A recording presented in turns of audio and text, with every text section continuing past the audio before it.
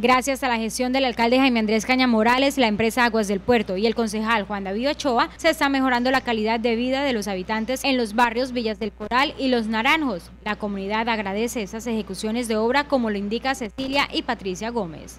Me encuentro muy contenta al saber de que esos malos olores se van a, a evitar mucho, muchos animales por este caño, pues vivíamos muy, muy perjudicados y mira el día de la inundación todo lo que ocurrió por el medio de este caño. Pues les doy muchas gracias que nos hayan tenido en cuenta en este barrio. Y muy bueno para toda la comunidad, deben sentirse muy orgullosos y gracias al señor alcalde por las obras buenas que viene haciendo, porque evitan los malos olores, los abuelos y todo eso les perjudica para la salud.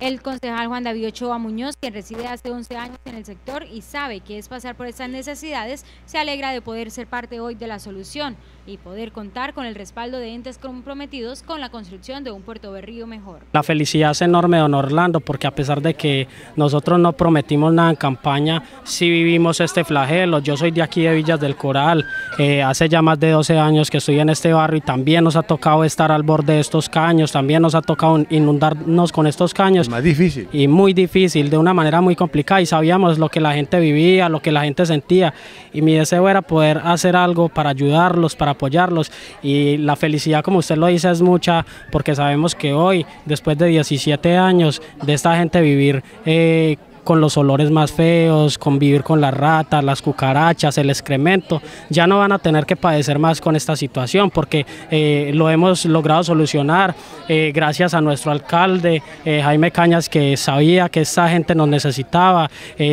la gestión que nosotros también hicimos y por supuesto Aguas del Puerto que siempre ha estado firme y presente.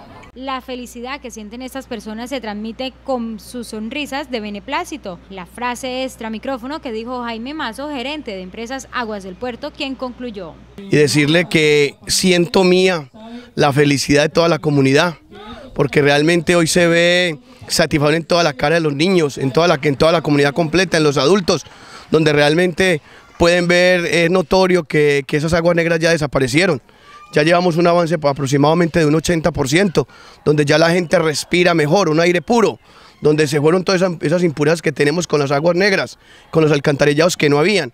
Hoy ya vemos algo diferente, ya al menos hemos, hemos restringido el tema de las infecciones, el tema de las enfermedades.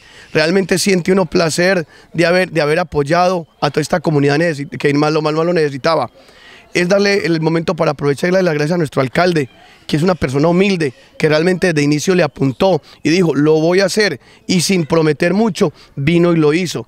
Hoy es una realidad. Me decía la comunidad que hace desde el año 2005 se lo venían comprometiendo, los, los alcaldes o los candidatos de turno lo venían diciendo, Hoy lo vemos que es una realidad. Un alcalde que comprometido con las personas más necesitadas, con estos barrios más necesitados, les dijo, sí, yo soy capaz y les cumplo. Hoy les está entregando un proyecto totalmente realizado. ¿Este proyecto hasta cuándo, hasta dónde va a llegar? ¿Va a finalizarse? o solamente es un tramo? No, esto se va a terminar completamente, o sea que todas estas viviendas van a quedar totalmente pegadas o ligadas directamente al, al, al, alcantarillado que tenemos, que estamos colocando de 8 y 12 pulgadas, de manera que realmente aquí ya no vuelvan a haber aguas negras eh, eh, directamente a aire libre. Aquí todas las gentes, las comunidades van a quedar totalmente pegadas o directamente a lo que son las tuberías. Eh, hay que aclarar la oportunidad para que valga la pena, don Orlando, que esto no tiene ningún costo para la comunidad. Esto lo asumió directamente el municipio en un tema interadministrativo con Aguas del Puerto, para que nadie se gastara un peso de su bolsillo. Esto lo hizo directamente el alcalde, se dio la pela y les cumplió, señores. Finalmente, el mandatario local en su intervención recalcó que las calles ya son transitables, ya no hay aguas estancadas y que los niños pueden jugar tranquilamente sin percibir alguna afectación en la piel como se registraba en meses anteriores. Ya tiene su tubería y ya los niños pueden jugar ahí, son transitables, eso hace que se mejore la calidad de de vida y que uno sienta la felicidad de seguir trabajando cada día más. Hemos conversado, hemos conversado con muchas personas y se siente la activación y la alegría. En este proyecto de canalización de aguas hay proyectado otro barrio. Claro, el barrio lo Oasis. Este mismo proyecto lo vamos a llevar al barrio Oasis, donde no han hecho inversión, la administración municipal Puerto Berrío para todos va a llegar con inversión.